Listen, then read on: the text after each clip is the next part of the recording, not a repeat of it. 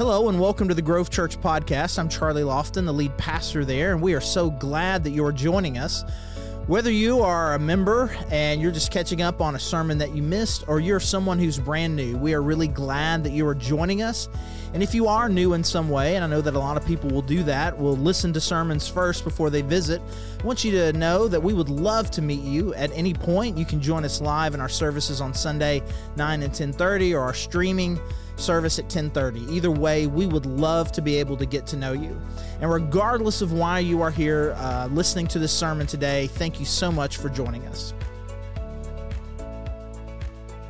All right. Well, hey, good morning.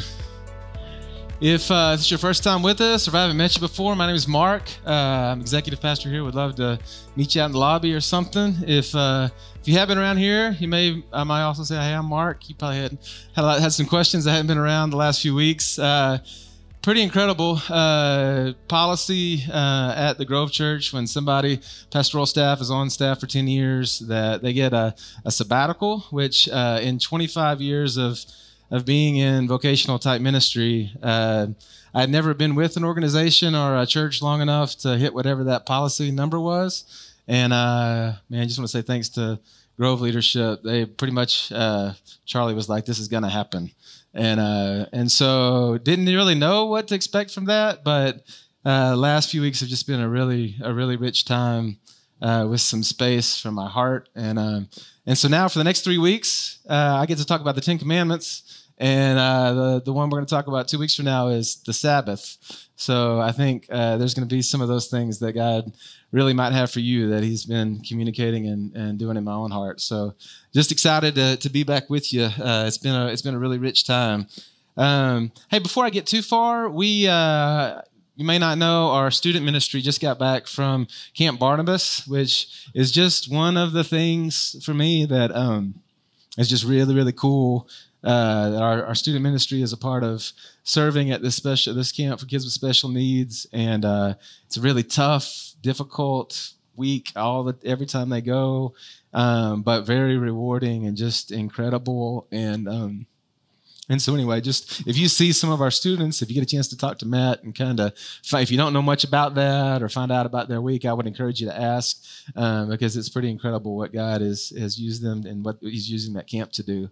Uh, also, we we saw our Cuba team uh, with Filter of Hope off last week. Uh, they actually left and uh, had some some flight troubles, but they are in country now. And um, tell you what, would y'all mind? Can I just pray for them real quick? Ask you to continue to pray for them this week, but can I can I say a quick prayer for them together? Father, we just with one voice want to uh, to bring our our team uh, to you and uh, pray your blessing upon them. Pray your protection over them from the elements, from any harm. Um, Father, I pray that you would fill them up, even in the heat, uh, that you would fill them up with strength and energy and uh, Father, you would give them favor with the people that they interact with and the ability both to give this very practical thing of, of help with water, with clean water, but then also um, give them the, the ability to, to communicate your great big love for them and the good news that, that is in Jesus. And so, Father, we pray that you bless them. We pray that you would bring them back to our minds often, uh, that they would just feel your presence and your peace. And uh, Father, we're excited about what all you're going to do to your glory. Amen. Uh, also, it's Father's Day at the Grove. Uh, I know that that is, you know, I mean, it's a day that's to be celebrated. Also, there's a lot of mixed emotions, and everybody's, you know, got a different story. And so, whether this day means God just bringing a lot of peace into your day or celebrating your father big, I just, uh, man, I, hope that it's and pray that it's all of that. Uh, you know, we don't. If you've been around here for a while, you've probably picked up that we don't really like planned Father's Day sermon. Uh, so we're talking about don't worship idols today. Uh, welcome to the Grove on Father's Day. But uh, but you know, the more that I've that I've thought about it, and uh, I've had more time than normal to kind of to work through and think through these things over these last few weeks. Um, you know, this it really does go to, together well because this moment where God is, is giving Israel these Ten Commandments and establishing kind of what this, this love relationship and this connection looks like and what he is expecting from them. it feels like so much at the core of what that is, is this desire and invitation to, to just trust Him, to trust Him really big. And uh, you know, I'm uh, got four kiddos, uh, one that's that's married and out of the house, three that are still at home, and um, and I just through the years have picked up, mainly because it's the thing that that uh, bothers me the most or frustrates me the most uh, when I see that my my kids, that my family, uh, something happens and it, it feels to me like they lack trust, or they they worry that I'm not going to protect, or they they show some form of worry that I'm not going to provide, or that that maybe I'm not gonna gonna be there or faithful when they need me. Um, and I'm I'm weird like this, you know. I, I, my emotions are it's pretty. Sometimes they can get hit pretty easily, and usually the way it's funny. Usually the way it hits is um, I'm fixing dinner, you know, and I'm promising this good dinner that they'll get fed. And my boy Jack, man, he he just he just eats all the time. And uh, so, you know, he'll ask, he'll ask, man, when are we going to eat? And uh, I say, I'm, I'm, I'm going to take care of you. He's like, what are, we, what are we going to eat? My patent answer is something good. And he don't like that answer. That, that answer doesn't satisfy him. Something good. And I'm fixing it. And you can trust. And what I want is, I want him just to, to rest and to know good food is going to be on the table and it's, it's going to happen. And I can trust dad. But two, two minutes later, Hey, Dad, I'm hungry. My my what does he call his belly? He's got a new name for his belly. Harold, I think. Is Harold saying we need something? It's not, it's not happening fast enough, uh, and it's it's things like that where I'm like, man, if you if you would just trust, I promise, I promise, Daddy's gonna gonna do that. And really, it feels like the that I've seen the role of a father, this this uh, good but heavy burden of provision of protection, of love. In fact, our, our oldest, there there came this moment where it was obvious uh, that man he was he was ready and he was wanting to step out on his own and it felt like a really important moment. And so we planned this dinner together to to talk about this transition and this kind of this new season of of our lives and relationship and. Um, I wanted to bring some kind of significance to it, and uh, I passed by this building site, and there were some big rocks laid out there. So I got these three big rocks, and on one of them I wrote uh, protection, and on one of them I wrote provision, and on one of them I wrote love. And then at at dinner we sat down there together, and we talked about how man I I we as parents have have felt this. I mean this this child, you know, we we want to protect it's daddy's job. I want to protect you. And I want to make sure that you have all the things that you need and you never are wanting or wondering or, or stressing about it. And I want to make you always know and have full confidence that you are loved big. And uh, I slid protection across the table and I slid provision across the table because he was, you know, uh, but I pulled love back. I said, "This one's never going anywhere. This one, this one's in our bedroom. This one, this one stays with us. We're always gonna." But but man, you are like you know, as as we get older and we start to step out on his own and into manhood, he's he's taking those things. And this is the thing that what it looks like for this God to be trusted that that he can be trusted to protect us, that he can be trusted to provide for us, that we can rest in his love. And so these these Ten Commandments, as he starts to walk through them, you start to see. I mean, he's calling us to that. In fact. Um, in Matthew 22, you know, we we actually did a series on this not too long ago. I think Charlie mentioned it a couple of weeks ago again, when Jesus is asked what the what the, the biggest, the most important of the commandments is. He he says to love God and and then to love your neighbor. And there's this this vertical love between us and God, and there's this horizontal, like how we interact with with one another. And you also see that. I mean, from he's it's the fulfillment, it's kind of the summation of the Ten Commandments, because these early commands, there is this us and God relationships, you know. Uh, you shall have no other gods before me. You shall not worship any idols. You don't take my name in vain. You honor the Sabbath day. And then we start talking about, hey, man, don't murder folks. Don't commit adultery. Don't lie. We start talking about these, these horizontal relationships with others that are around us. And both of those are present. So these first few weeks, we really are looking at this. What is the, the thing that, that God is calling us to here? What are the things that He's saying are really important as we as we have this relationship with God, as Israel has this relationship with God. So Uh, this is the second. We're going to start in Exodus 20, verse 4. And this is this is how it's worded. He says, "You shall have, uh, you shall not make for yourself a carved image or any likeness of anything that is in heaven above, or that is uh, in the in the earth beneath, or that is in the water under the earth. You shall not bow down to them or serve them. For I, the Lord your God, am a jealous God." visiting the iniquity of the fathers on the children to the third and fourth generation of those who hate me but showing steadfast love to thousands of those who love me and who keep my commandments. So we're just going to walk through here, pick, make, make a few observations, and pick some things apart here and ask what I think are some really big questions. The first thing that just automatically sticks out to me make, make for yourself. It doesn't feel like we should have to be told that, that Israel should have to be, be told that. Don't so I made you, God, I mean, I made, I made everything. Hey, y'all don't make for yourself. Don't take the position of creator and make for yourself something and then give your worship to that thing.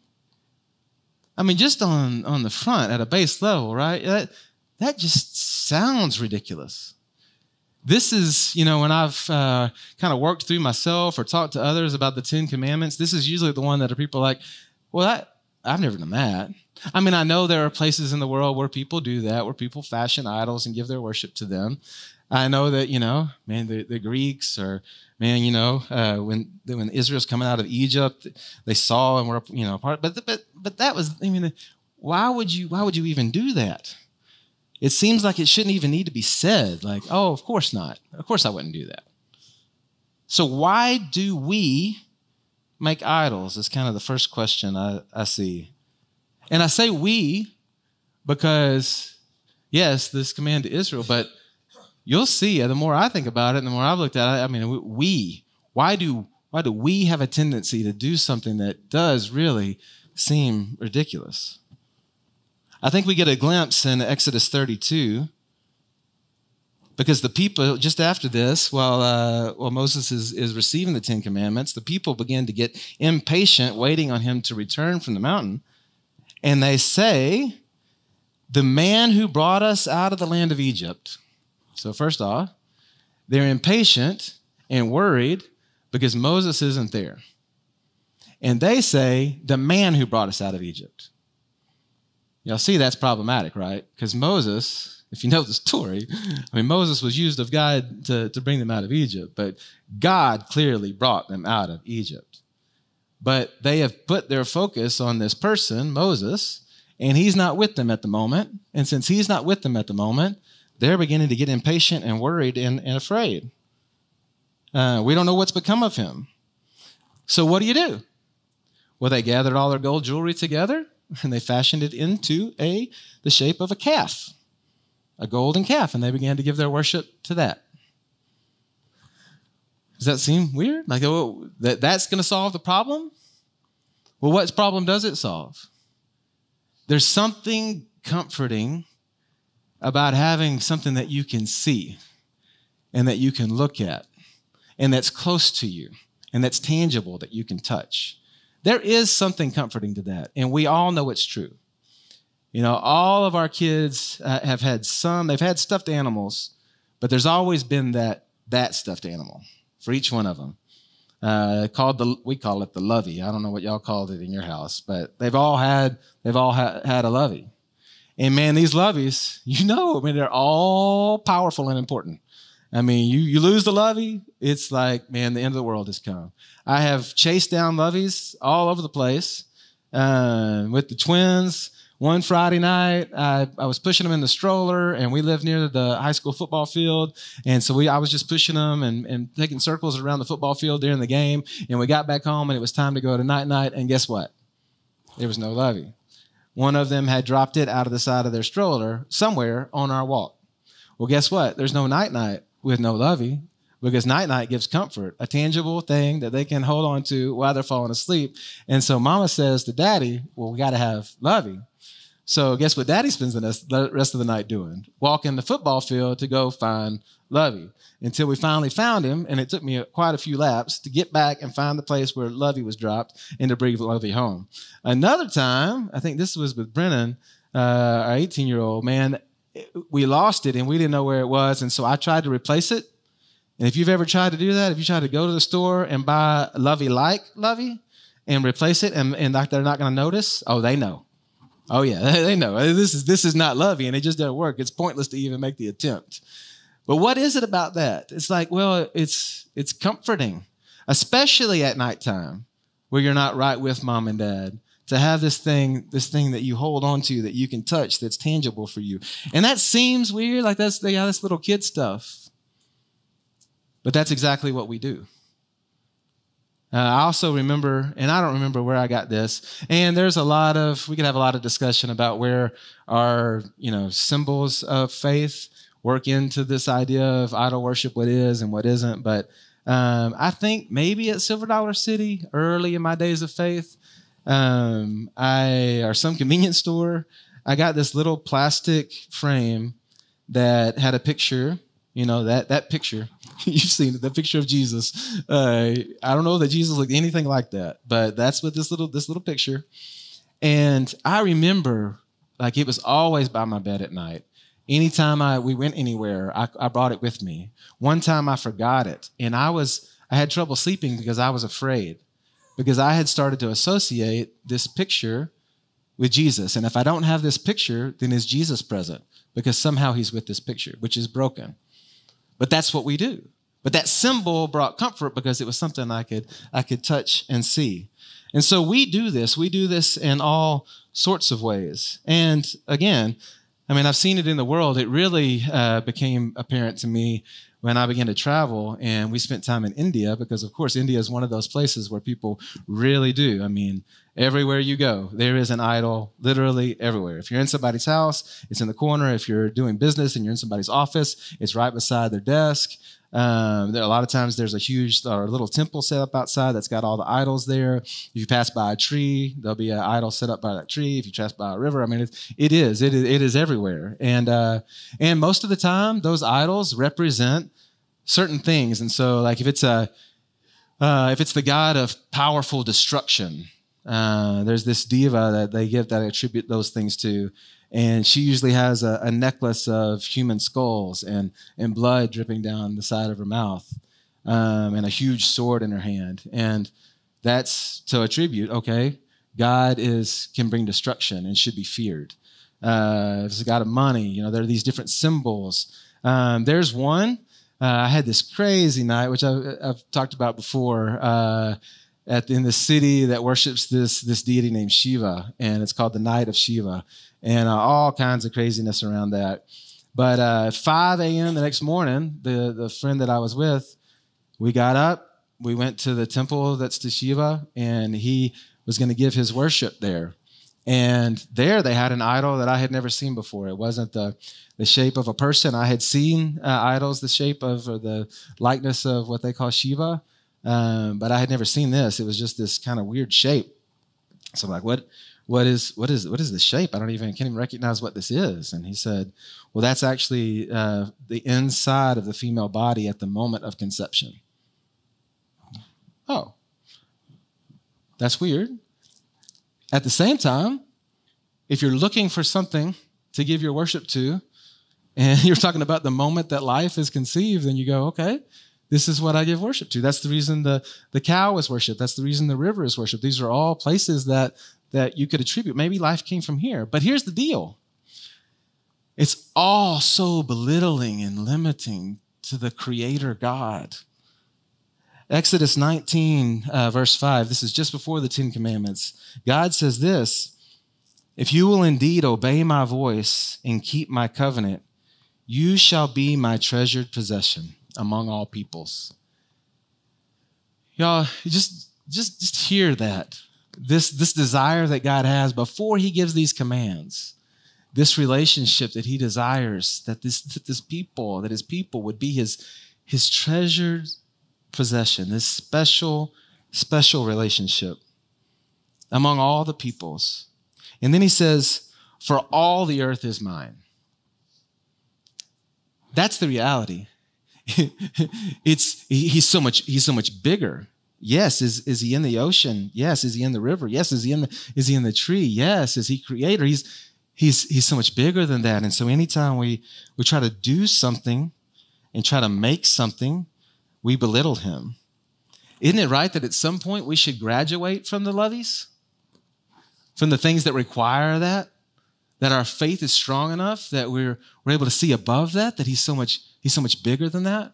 Uh, we were out of town last week and the, the twins were staying with my parents. And uh, when we went to pick them up, uh, Jack was walking out and he said, Oh, I forgot my lovey. And I heard my dad say, You don't need that anymore. And Jack looked back and said, Yes, I do. he hadn't quite graduated from the need for that tangible thing to hold on to to be able to sleep well. But as we grow in our faith, shouldn't we get to the point that we're like, we don't need that because we we see him in everything?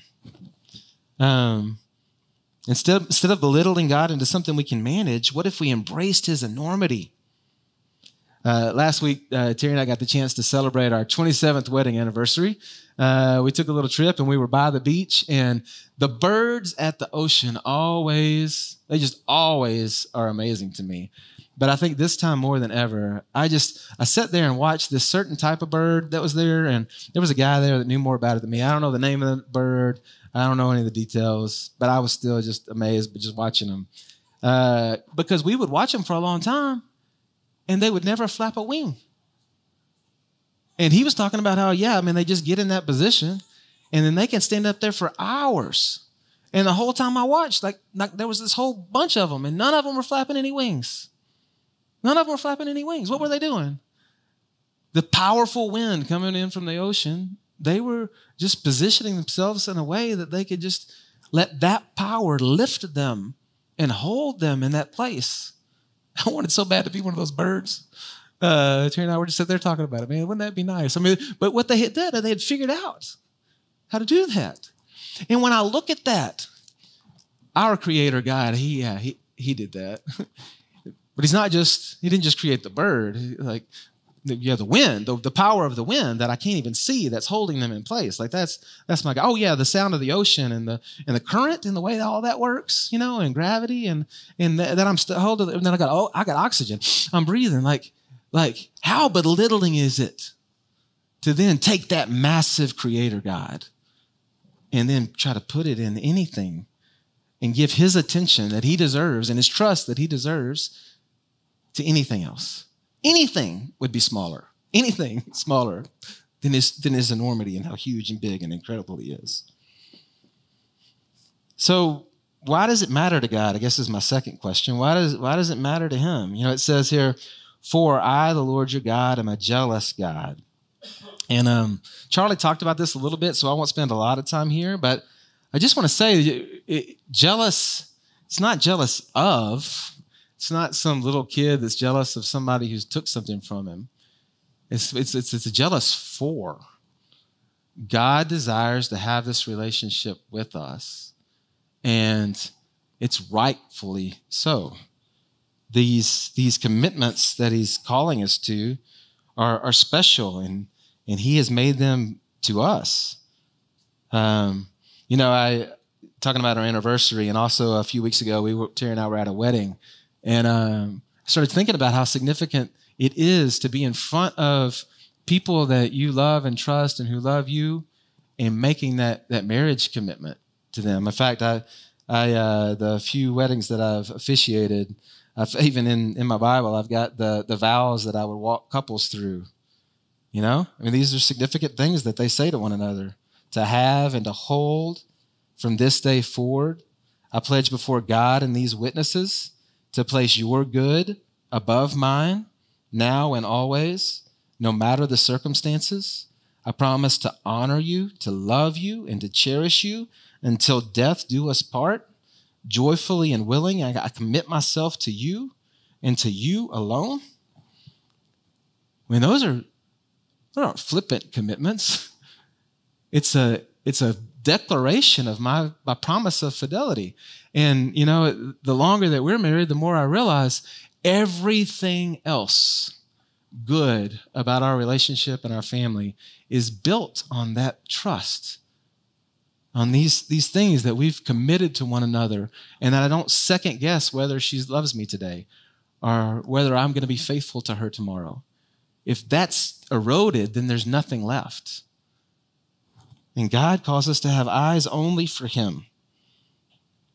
Um, you know, my, my Hindu friends have often asked me, and when I've been in those places, to worship the idol with them. There's a lot of different ways that they do that, but I've been in a lot of those worship ceremonies or services or temples, and you know, I'll I'll stand at the side and be respectful and watch and and try to learn kind of what's what they're believing, what's going on in their heart. Uh, but when asked to join in, I'm always like, man, I just can't, I can't, I can't do that. And uh, my answer has always been, and it's been clarifying for me in my personal faith, and I think also for them. I'll compare it to the marriage relationship. I'll say, you know, man, you know me well enough to know how much I love my wife. And have you ever second guessed? Well, is Mark, Mark's going to talk to a different lady today, or Mark's got eyes for this other woman? You know, you know that's not going to happen, right? I know. I know how much you love her. Well, you've also heard me talk about my faith in Jesus and what he means to me, right? Yeah. Well, I can't give his I can't give his love to another. I can't step up there and, and give his worship that he, he's everything for. I can't give that to, to this, this deity. I can't do that because he has all of my heart. It matters to God because to do that would be a, a break of trust and the worship that he alone deserves. So, my last question what, what would an idol free life look like? What would that actually look like? You know, I feel like we continually fight, like I was saying a second ago, to the battle to feed our kids good food. Uh, you know, they get home from school, they ate early in the day, they're they're they're hungry. Uh, daddy's planning a good good meal. You know, I'll say, you know, it's gonna, it's gonna be something good. Jack doesn't necessarily believe that, uh, believe me, and so they'll hit the the cabinet and try to eat some snacks. Because just like Israel got impatient and went to the golden calf, they get impatient and go to the Twinkie box, right? Uh, it's really, really frustrating, you know? Because I know, we know, if they'll just wait a little bit, they'll have the appetite for the really good stuff that God is promising and calling us to. But we'll we'll get impatient, and so we'll take the shortcut and and give His attention, give give our trust to something that's not worthy of it, that doesn't fulfill. And uh, and then we find out, oh man, that that doesn't really work. We settle for some weak substitute and forfeit the abundant life that He's called us to. We'll give that trust and attention to a person, to an organization, to a bank account, to a job, to some drug, to some hobby, to some other thing, believing that it might give us peace. And maybe it, it plays it for a moment, but then it doesn't fulfill. That trust is it's not worthy to hold that, that amount of trust, that amount of love. And so then ultimately it falls apart. And the craziest thing I've this is personal confession, the craziest thing about us is that when then we'll turn around and blame him because where is the life to the fullest? Where did it go, God? Why don't I have the life that you promised? And then if I look down at, at where I've given my devotion, where I've given my time, my energy, my money, my, my trust, where I'm hoping to find peace, I've, I've forfeited this relationship and I've gone to some weak substitute. You know, I think God gets the blame for a lot of things when really he's just he's just called us this this beautiful Ten Commandments. You know, uh, I think I think growing up, I think the nature is when you see a list of rules, you go, man, man, I, I don't rules. Why they got to be rules? Well, man, in this kind of covenant relationship that God is calling His people to, yeah, it's really important. It's really important that we look to Him. It's really important that it's built on trust. He is faithful in calling us to, to trust in His faithfulness um, you know, that, that section in the middle, uh, visiting the iniquity of the fathers on the children to the fir- third and fourth generation of those who hate me. you know, we'll immediately go, man, the consequences of this are big, and that's that's scary. but if you look at that full sentence, that's true. But do you catch that it's a contrast? He says, but this God is showing steadfast love, faithful love to thousands of those who love me and keep my commandments. It's also this beautiful invitation to this incredible relationship with God. To thousands. A lot of times we miss the second part of that. You know, on this on this little trip, uh, Terry and I snorkeled for the first time. I had a little, I did that one time a little bit, but I found out once we got the the goggles on and the snorkel that Terry had never really had those anything like that on before, especially in the ocean. And um, you know, we'd sit there for several days looking at the surface of the water, and now all of a sudden we we stuck our faces below the surface, and it was teeming with life and all these different types of fish and coral and things, things I had never seen before. You know, I've seen National Geographic. Jack calls it the Yellow Square Channel. Uh, we watch the Yellow Square Channel some, uh, but I had never myself seen uh, a sea urchin or, or, a stingray or these th- these things that we were looking at. And uh, you know, I just think a lot of times it's like we we look at life and uh, yeah, we're just at this at this level, just just surface level. And this thing that God really desires, this relationship He really desires with us, man, when we go beneath the surface with Him, it is it is endless. And it's so much bigger and He's so much greater. But we just like to put Him in a box that we can control. You know, I think it's been rightly said that He uh, He created us in His image, and we decided we would uh, we would return the favor. And so we try to shape God into an image we can control and that we can understand. And He just blows all that away. And if we embrace Him for how big He is, man, the, the life He's called us to is possible. Uh, one last thought uh, Exodus 32, you know, when, uh, when Moses returns to the people and he sees what they've done with this golden calf, you know what he does to it? He takes the golden calf, he burns it, he grinds it into powder, he scatters it on the water, and he makes the people of Israel drink it. You know where that golden calf ended up on their journey? In the porta potties that line the road, where it should be. His devotion, given anything less than the fullness of who he is, is ridiculous and pointless and and deserves nothing, nothing more than that. And so if, if it's cool with you guys, I just I'd like to pray and pray specifically that that God would identify for us what are those things that we're giving our attention to and that he would burn them and turn them to dust and remove them from our life so we can really know what it means as as a person as a community to to be his treasured possession Father, I, uh, I ask you that that would be true. I, I confess there are just things that get my attention, and uh, there are moments of weakness in my faith that uh, I feel like you've abandoned me, and I go looking for um, what might fulfill that moment, what might give me peace in the moment, what might provide for me in the moment, what might give me pr- protection in the moment. And uh, Father, I just know that all along they're all just just weak substitutes, and you are the only one. Uh, Father, you deserve the worship. You're calling us to it. This relationship, this sweet thing, as a as a person, as an individual, as a as a community. And uh, Father, I ask that you would continually put your finger on the the lesser things that have our eyes and our hearts, and draw us uh, to fidelity in this love relationship with you. Amen.